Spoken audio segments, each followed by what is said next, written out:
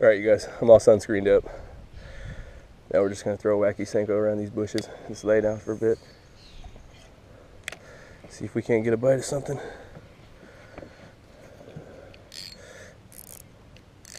Just start the day off with something.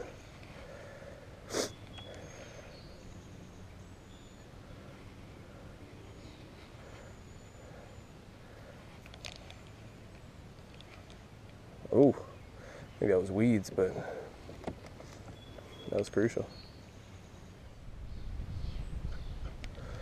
I mean, this is a pretty big lake, 200 plus acres, and I got a lot of ground to cover, so just this wind is beating me up. It's pushing me right into the right into the wood in the bank.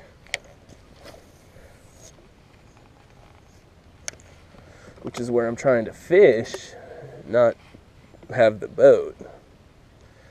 But I don't know, this looks like a pretty juicy stretch. We can find some hard bottom. I can get it close enough.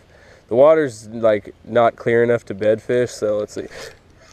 We got one. We're hooked in. Yep, we got one.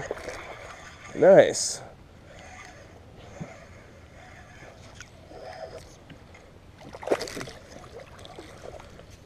Nice. First fish of the day, you guys. On the Senko. Mm, choked it. Choked it. Let's get the pliers. Let's get this guy unhooked and back in the water.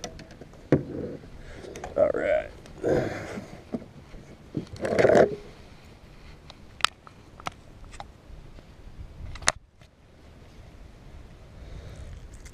Nice little guy. Pop that hook out. Whoa, buddy. I don't want you to fall down in there, and that's where I don't want you to go. No!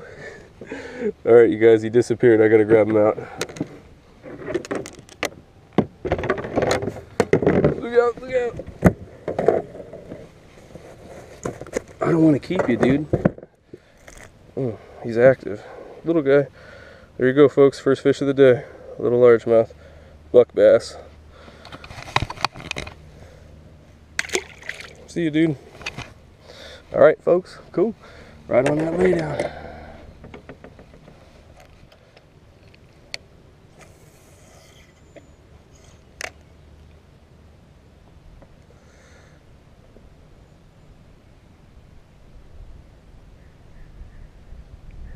Fish. Yep.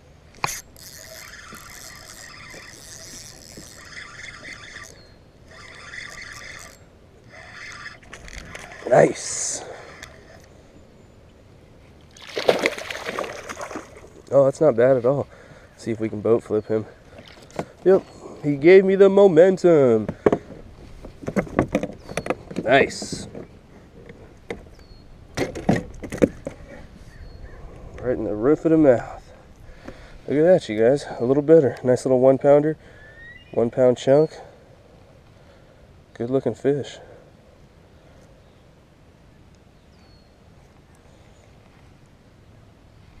Awesome.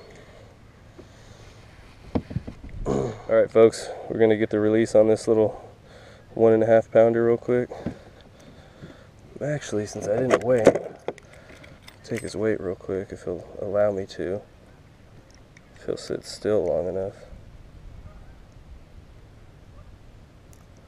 Oh, would you look at that? A little bigger. 1.75 pounds, almost a two. Nice little bass. All right, you guys, let's get the release going with this guy.